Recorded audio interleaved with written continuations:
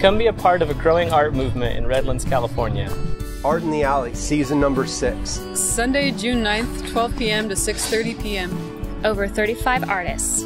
Painters, sculptors, collage, jewelry, fiber art, photography, and more. Over six musicians and poetry throughout the day. And Augie's Coffee, part of the DTR Art Walk.